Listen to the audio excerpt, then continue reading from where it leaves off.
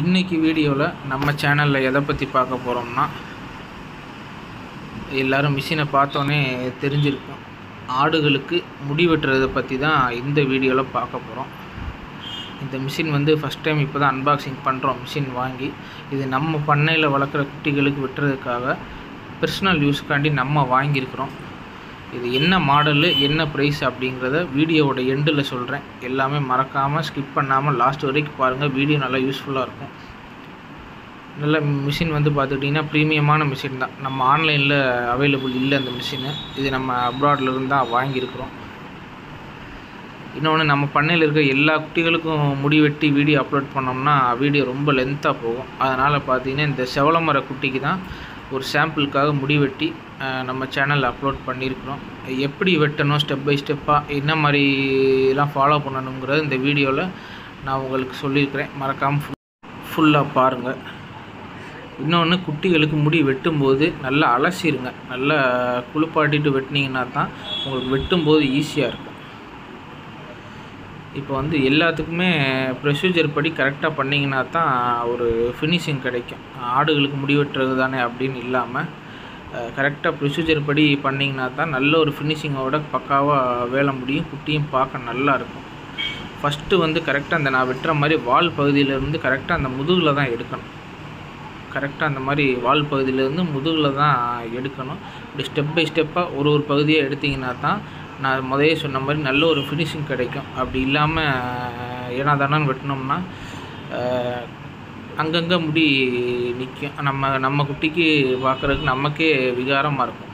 கரெக்டாக பக்காவாக தெளிவாக வெட்டி முடிக்கணும்னா ஸ்டெப் பை ஸ்டெப்பாக வெட்டணும். ஃபஸ்ட்டு இந்த வாலில் ஆரம்பித்து இந்த குறுக்கு பகுதியில் வந்து வெட்டிட்டு ரெண்டாவது வந்து பார்த்துக்கிட்டிங்கன்னா இந்த தொடையில் எடுக்கணும்.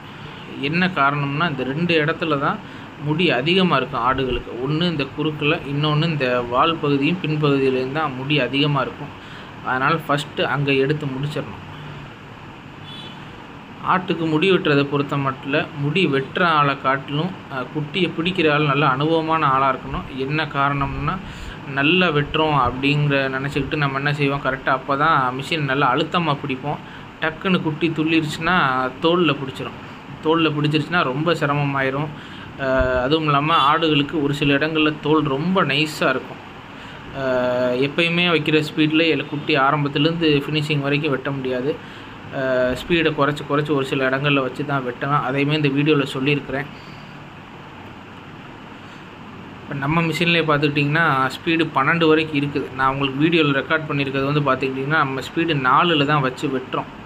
நீங்கள் புதுசாக வெட்டுற ஆளுங்கிற பட்சத்தில் குறைஞ்சது ஒரு பத்து குட்டிக்காவது வெட்டி பழகுற வரைக்கும் உங்களுக்கு எந்த ஸ்பீடில் வெட்டுறதுக்கு தோதாக இருக்குதோ அதிலே வச்சு வெட்டுங்க. எடுத்த பார்த்திங்கன்னா பார்த்தீங்கன்னா ஸ்பீடு கூட வச்சு வெட்டினீங்கன்னா தோலில் ஏதாவது மாட்டிக்கிடுச்சுன்னா ரொம்ப சிரமமாயிரும் அதை சரி பண்ணி அதுக்கப்புறம் குட்டியை ரெடி பண்ணுறதுக்குள்ளே நம்ம குட்டியை விற்றுட்டு வேறு குட்டியை எடுத்துடலாம். அந்த மாதிரிலாம் சூழ்நிலை ஆயிரும். அதனால் ப்ரொசீஜர் படி கரெக்டாக வெட்டுங்க பொறுமையாக வெட்டுங்க. கொஞ்சம் லேட்டானாலும் பரவாயில்ல. குட்டிக்கு எந்த சேதாரமும் இல்லாமல் பொறுமையாக விட்டுட்டிங்கன்னா ரொம்ப நல்லது.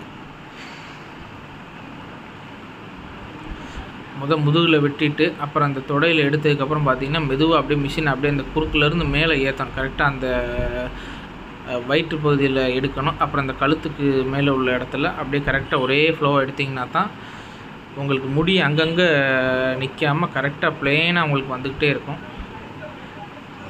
இதே மாதிரி நீங்களும் ஃபாலோ பண்ணி கரெக்டாக வெட்டுங்க.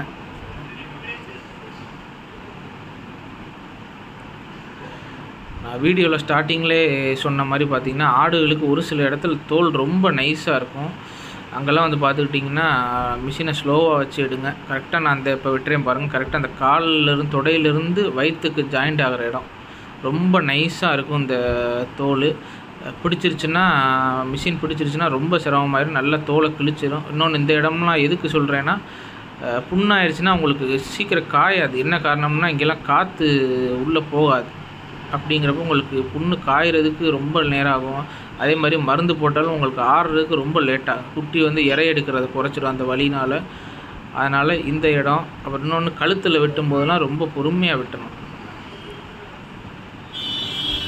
இந்த கரெக்டாக அந்த இடம்லாம் தோல் ரொம்ப லேசாக இருக்கும். நீங்கள் வீடியோவில் பார்த்தீங்கனாலே தெரியும். நானே ரொம்ப பொறுமையாக தான் எடுப்பேன் அந்த இடத்துல. இன்னொன்று முடி ஒட்டை அங்கெல்லாம் எடுக்கணும்னு அவசியம் இல்லை. லேசாக முடி இருந்தாலும் தப்பு கிடையாது. ரொம்ப ஒட்டை எடுக்கணும்னு நினைக்கக்கூடாது. இன்னொன்று கரெக்டாக அந்த கழுத்தில் வெட்டும் போது ரொம்ப பொறுமையாக வெட்டணும். பிடிக்கிற ஆளும் ரொம்ப கவனமான ஆளாக இருக்கணும். என்ன காரணம்னா கழுத்துலலாம் லேசாக கிழிச்சிட்டாலும் உங்களுக்கு தெரியும் என்ன நடக்கும்னு. அதனால் ரொம்ப பொறுமையாக வெட்டுங்க. மிஷினை ஸ்லோவில் வச்சு வெட்டுங்க.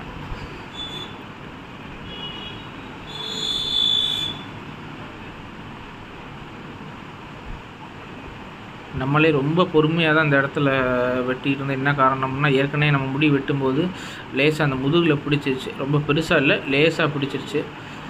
அதனால் ரொம்ப கவனமாக தான் வெட்டணும். நீங்களுமே ரொம்ப கவனமாக வெட்டுங்க. அனுபவமான ஆளை வச்சு வெட்டுங்க. பழகுற ஆளாக இருந்தால் ரொம்ப ஸ்லோவில் வச்சு வெட்டுங்க. இது வந்து முடியை கம்ப்ளீட்டாக எடுத்து முடிச்சிட்டோம். எந்த அளவுக்கு தெளிவாக எடுத்திருக்கோம்னு பாருங்கள் அது லேசாக வரி வரியாக இருக்கும். அதை பற்றி பிரச்சனை இல்லை. அது அந்த மிஷின் நம்ம வச்சு அழுத்தின அந்த தடம் தான். மற்றபடி தெளிவாக எடுத்திருக்கோம் நம்ம கரெக்டாக பண்ணனால தான் இந்த அளவுக்கு குட்டி நல்லா தெளிவாக இருந்திருக்கு.